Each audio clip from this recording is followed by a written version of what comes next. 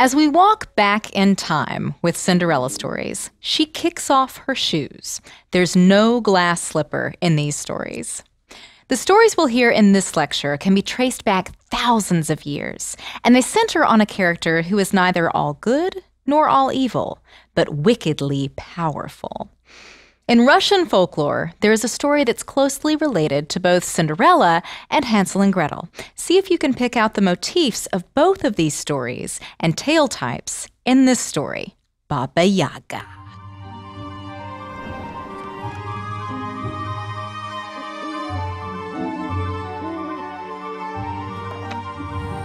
Once upon a time, there was a man, and the man had a daughter. And he loved his daughter, but even though he loved his daughter, he was very sad because his wife had died many years before and he was lonely. But after a while, the man, he fell in love with another woman. And he fell in love with her hair. He fell in love with her face. And he had made a bad, bad choice. Because this woman did not like the little girl. And of course, to the man's face, she was very nice. Oh, my babushka, you come here. You're oh, love, love, love, love, love. But whenever the man had left, as soon as he shut the door, she would beat the girl. She would talk down to the girl. She would tell the girl to go away, go, go, go, go. Well, this went on for quite some time until one day the man found that he had business to do out of town and, and he said goodbye to the family. He said, Oh, goodbye, my daughter, my daughter.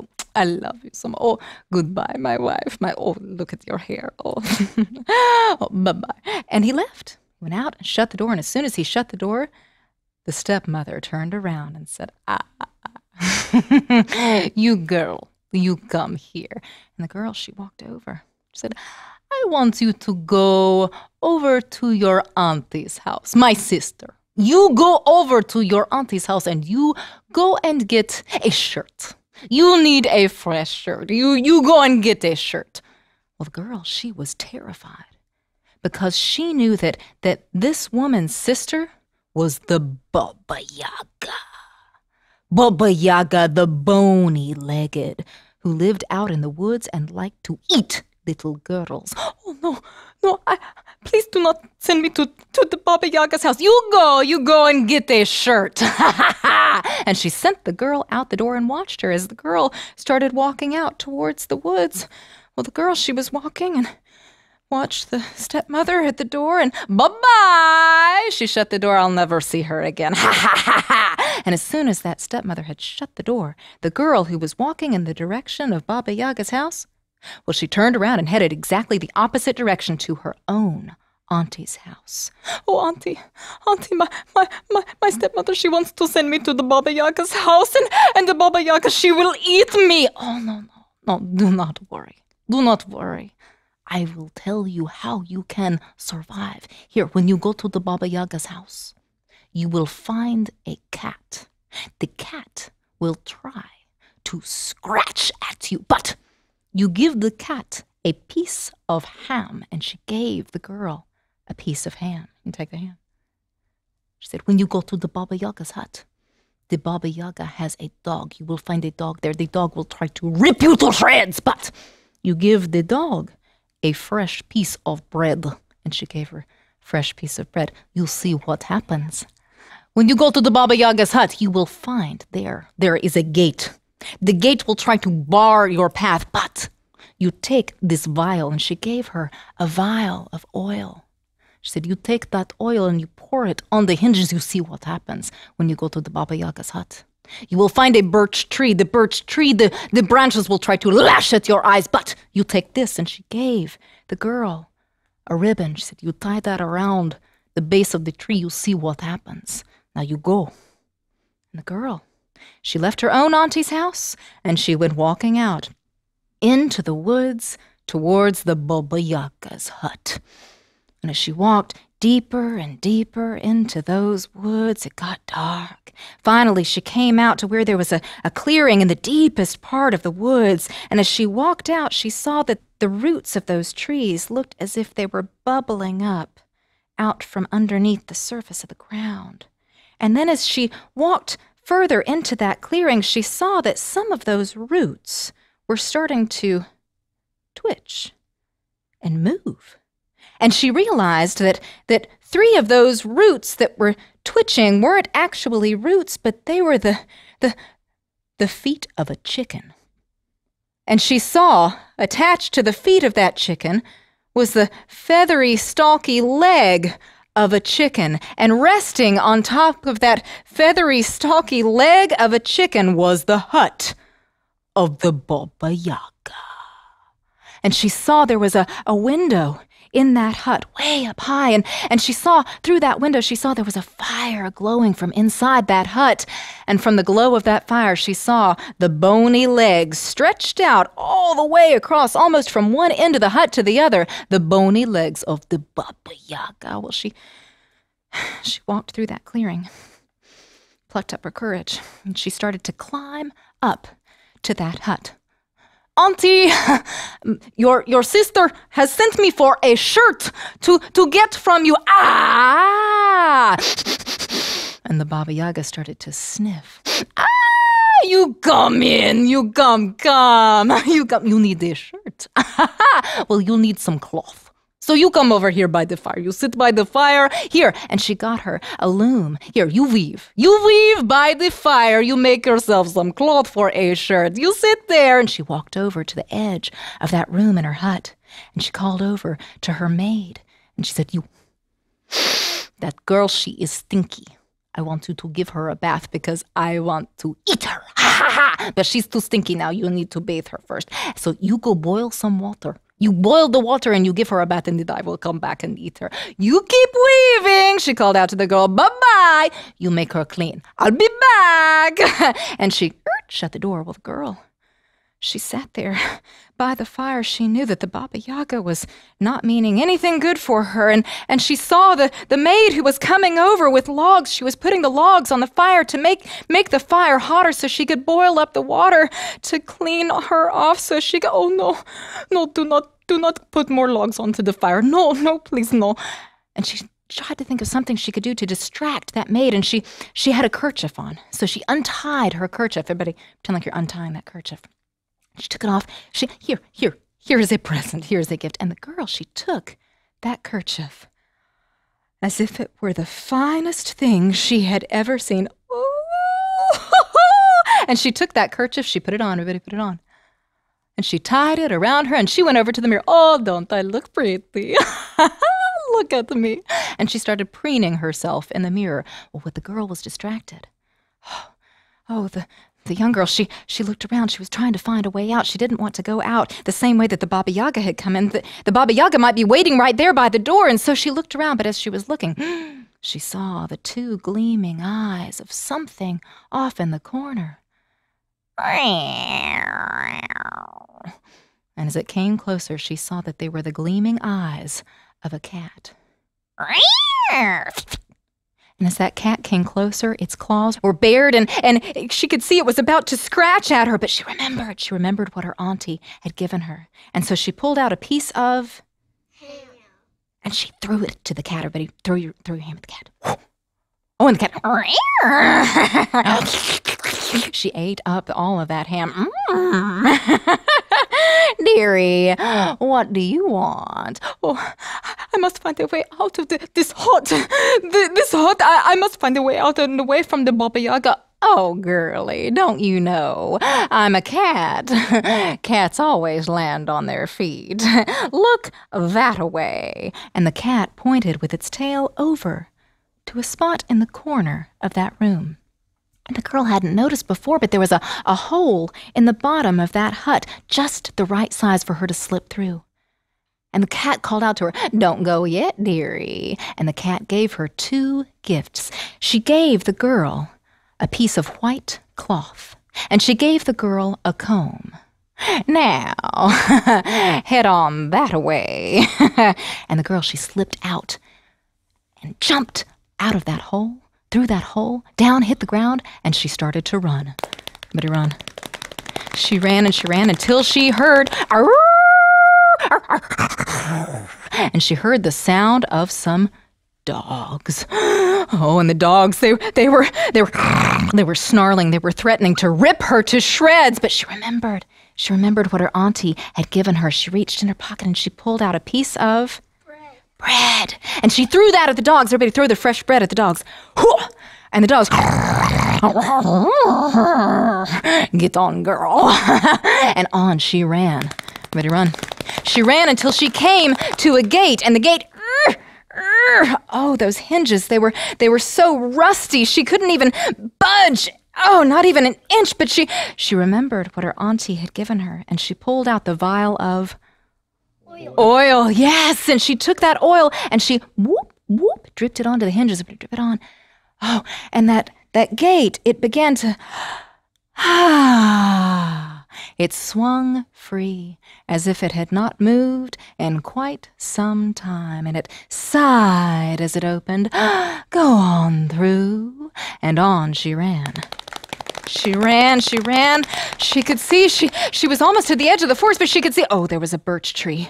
There was a birch tree there, and, and the, the, the top branches were starting to wave, but almost as if not into the wind. It, it was as if the birch tree were moving on its own, and those branches were starting to, to lash at her eyes. But she remembered what her auntie had told her and given her, and she pulled out, remember?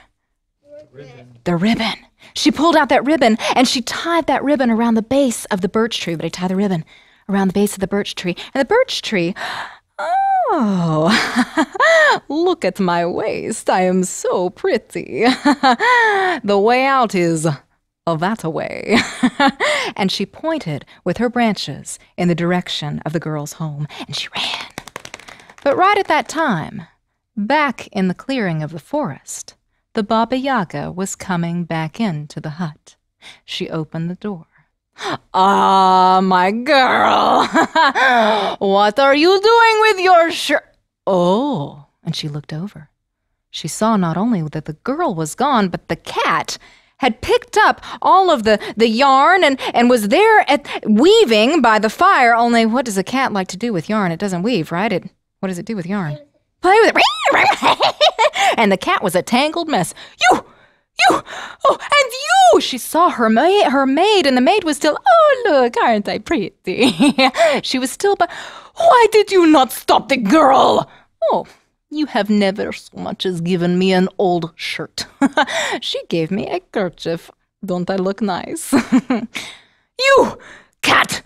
You, why did you not scratch at her? Oh, dearie, you've never so much as given me an old bone. She gave me a piece of fresh ham, but she did go that way, and she pointed with that tail over to the direction of the hole.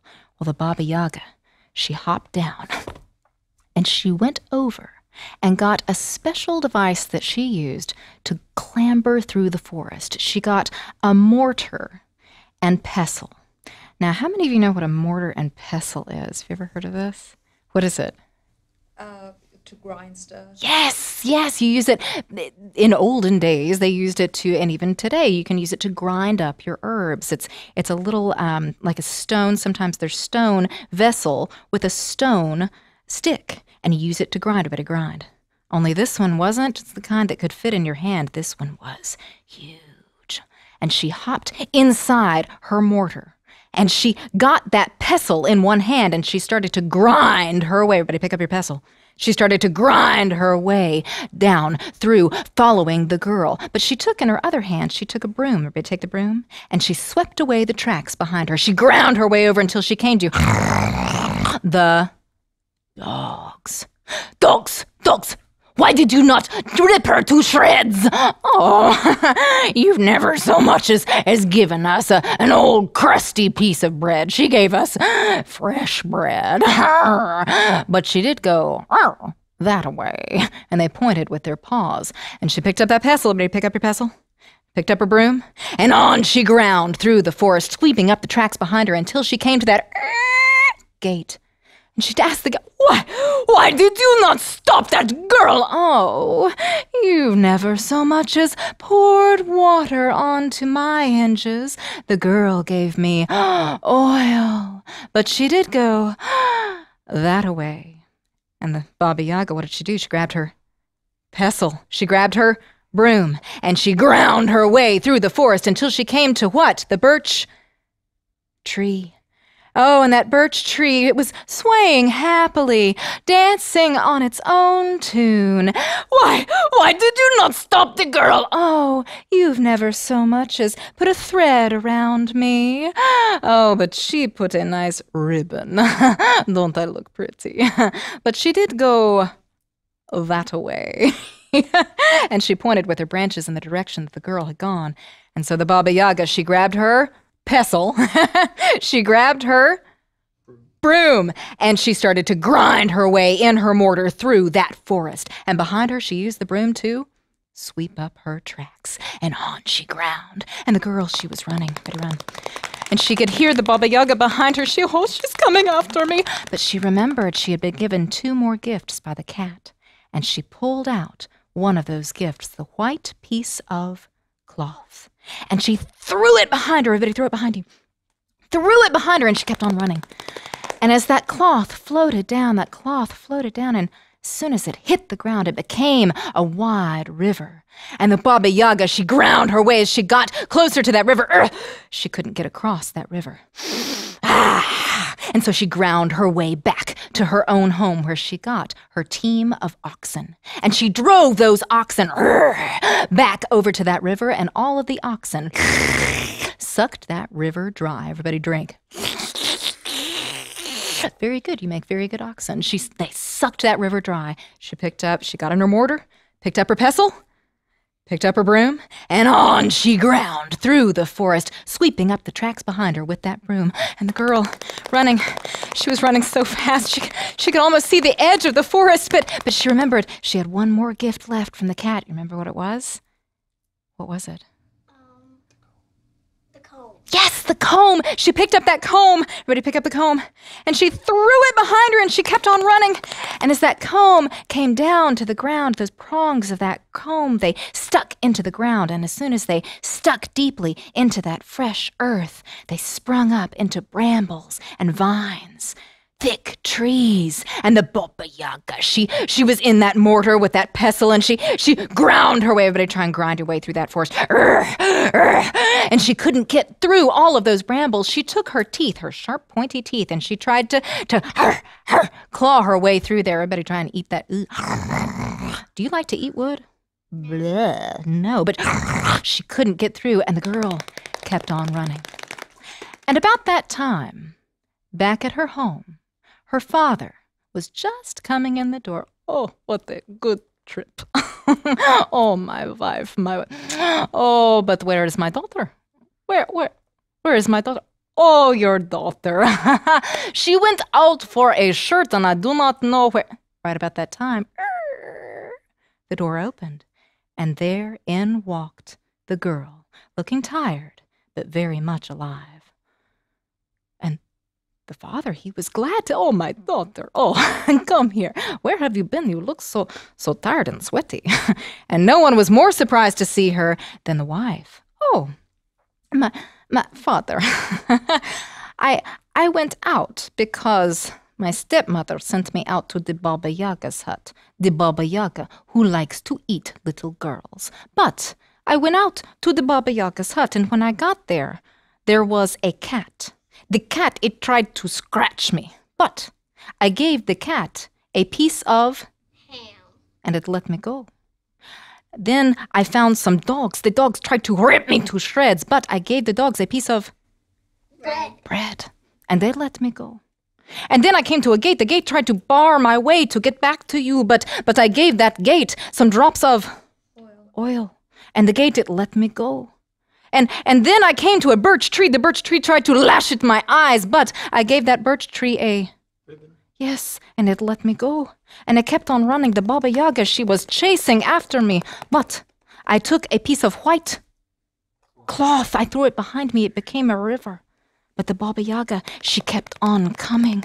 And then I took a, the last gift, a Um, comb. very good. I took a comb and it became a, a wild forest of brambles. And as far as I know, the Baba Yaga is still trying to tear her way back through those brambles right now.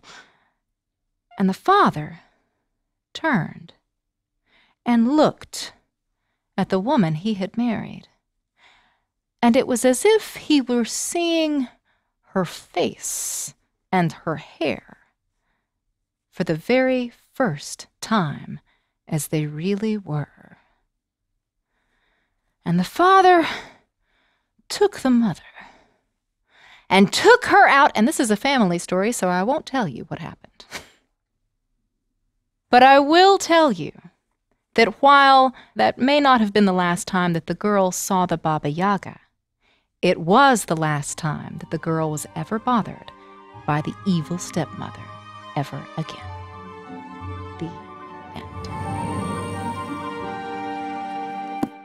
Did you catch the familiar tale characteristics and motifs embedded in this story? The wicked stepmother and the sisters, the good auntie serving as a fairy godmother, but remember what we said about the stepmother characters. They're metaphors. We all know that stepmothers can be wonderful in real life. I have a wonderful step parent. This is one of a number of tales about Baba Yaga in Russian folklore. And as you hear more stories that have this character in it, you realize she's not always this witchy cannibal. Sometimes she's benevolent in the stories. Sometimes she saves the little girl from being mistreated back in her own home. Now, to get some context for Baba Yaga, we need to hear another Cinderella story. The Russian version of Cinderella is the tale Vasilisa the Beautiful, and it follows most of the traditional t- storyline, but with several twists.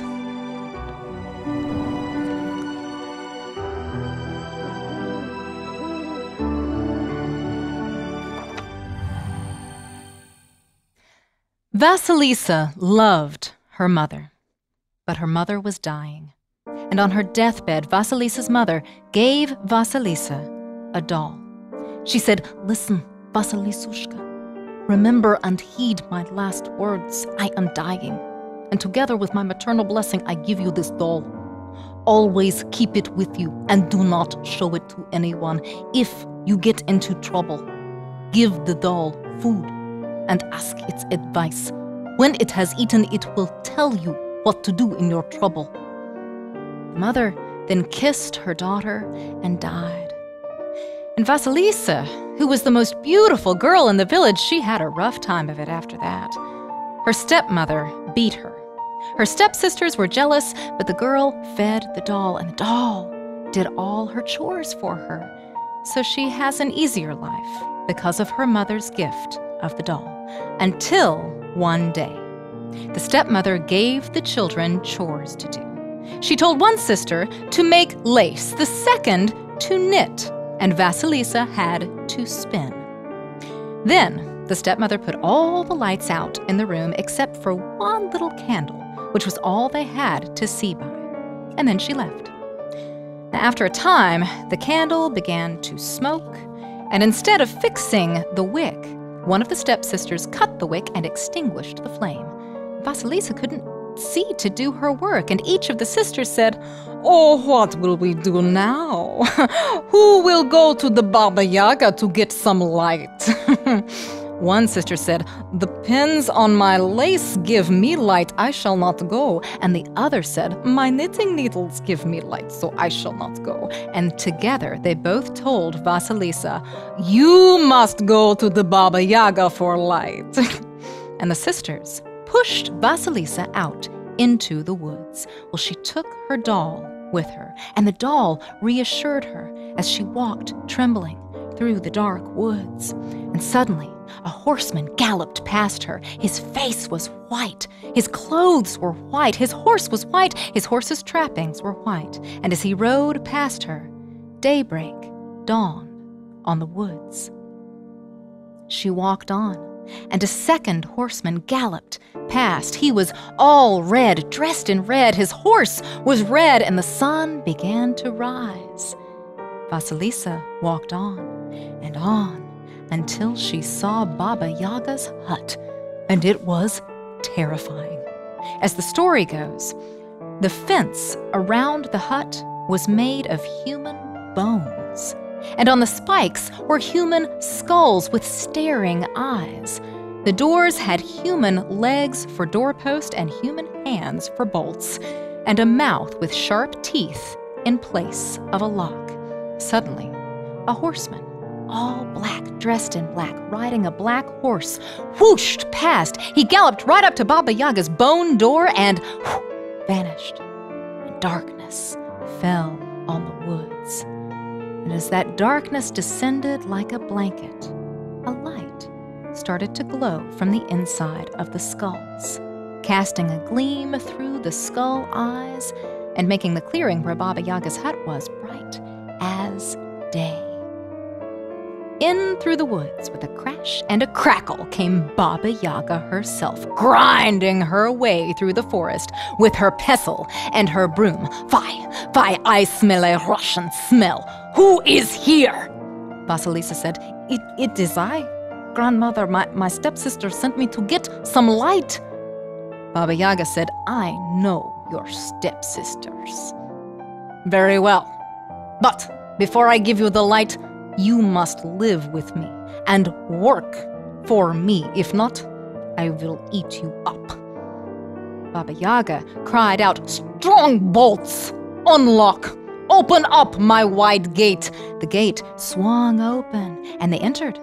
The doors closed behind them. Baba Yaga ordered Vasilisa to serve her supper and then gave her tasks for the next day sweep the yard, clean the hut, cook the dinner, wash the linen, and go to the co- corn bin to sort out the bushels of wheat. And let everything be done, or I will eat you up. And while Baba Yaga snored through the night, Vasilisa took the Baba Yaga's leftover food and fed it to the doll. Help me! The doll answered, Fear not, Vasilisa. Go to sleep. The morning is wiser than the evening. When Vasilisa woke up, Baba Yaga had gone out, and almost all the work had been done by the little doll. Vasilisa completed the last of the cooking. And as the day waned, the horseman in black rode past. The night descended, the skulls glowed, the leaves rustled, and in rode Baba Yaga in her mortar. she was annoyed that all the work had been done, but she cried, Very well then. And then, My faithful servants, my dear friends, grind my wheat. And the three pairs of hands appeared and carried off the grain. Baba Yaga ordered the girl to do all the previous tasks on the following day, plus take the poppy seeds from the bin to get rid of the dust, grain by grain. Baba Yaga fell asleep, and, and the girl fed the doll the leftovers. And the doll did the work, and the next night, Baba Yaga sat down to eat with Vasilisa, and Vasilisa asked her, Who is the horseman dressed in white? He is my bright day. Who is the horseman dressed in red? He is my red sun. Who is the horseman dressed in black? He is my dark night, and all of them are my faithful servants. Baba Yaga warned Vasilisa that one who knows too much will grow old soon. So she didn't ask about the magic hands who did her work. Baba Yaga then asked the girl something. How have you managed to do all the work I gave you? I am helped by the blessing of my mother. Ah, said Baba Yaga. Get you gone, blessed daughter. I, I want no blessed ones in my house. And she dragged Vasilisa out and pushed her past the gate and grabbed a skull from the fence and stuck it on a stick and gave it to her. Here is your light for your stepsisters. Vasilisa ran home. And when she reached home, she thought surely they would have light by now. She was about to put out the skull light when the skull talked to her. Do not throw me away. Take me to your stepmother. She did this. And the stepmother and the stepsisters, they were relieved to see her. They hadn't been able to strike a flame or make a fire at all since she left. But as Vasilisa brought the skull into the room, the eyes kept staring at the mother and at the sisters. The eyes started to burn them. And they ran away, but the skull, it followed them. And by the morning, they were all burned to ashes. Only Vasilisa remained untouched by the fire. The next day, Vasilisa buried the skull and moved away. She went into town and began to live with a childless old woman who cared for her. And Vasilisa wanted to repay the old woman for her kindness, so she began to spin flax for her. And the thread she spun was the finest that anyone had ever seen. No comb was fine enough to card it, so she fed the little doll. And the doll made her a special loom on which Vasilisa wove the most beautiful linen cloth. The old woman said that the cloth was fit only for royalty, and so she gave it to the Tsar, who then asked the old woman to cut it and sew it into shirts for him. It was not I that spun and wove this linen, Your Majesty, the old woman said, and, and the Tsar ordered Vasilisa to come to the palace, and Vasilisa said, I knew all the time that I would have to do this work. and when the shirts were all made, the old woman, she took them to the Tsar, and Vasilisa, well, she washed herself. She combed her hair, and she dressed, and she sat by the window just to see what happened. And sure enough, a messenger arrived and brought Vasilisa to the Tsar. And when he saw her beauty, he fell in love with her. You shall be my wife. And at once they held the wedding, and Vasilisa's father finally returned, and he and the old woman who had given Vasilisa shelter lived in the palace. And Vasilisa, well, she carried her doll in her pocket till the end of her life. When we compare these two stories about Baba Yaga and Vasilisa, we see that in some stories, Baba Yaga is a terrifying cannibal, but in others, she's a giver of gifts. This is part of her power in Russian folklore. She's ambiguous, she transforms, she defies classification. Most of the characters we've seen thus far are either good or bad, so you might be wondering how such an ambiguous character survived. Baba Yaga stories connect back to much older belief systems, Neolithic cultures in what is now the Middle East and, and Slavic countries, Romania, Hungary, Slovakia. They worshipped the mother goddess, who represented both life and death. If you look at nature, it's full of life and death, cycles of trees growing, dying, becoming renewed, just as our human bodies do from one generation to the next, parent to child. The mother goddess is a giver and destroyer of life, like a feminine Shiva in Hindu cultures. That's ambiguity. Over time, stories and rituals about the mother goddess became degraded, which means that they changed their form. They became less about spiritual worship and more filtered into the folk culture of everyday life. In the Greco Roman era and in the Middle Ages, mother goddess pagan deities, they went underground because telling such stories about a female god was considered sacrilegious. Thus, mother goddess stories transformed into the figure of the Baba Yaga. Now, this was about the same time in storytelling history that on another part of the globe, the story of Cupid and Psyche degraded into the story of East of the Sun, West of the Moon. Or was it the other way around? And as we'll soon hear in our future lectures, over in England, it's when Jack started hanging out with King Arthur and killing all those giants. And so, the stories survived. Stories are a lot like humans. We and they have to adapt to our circumstances or we die.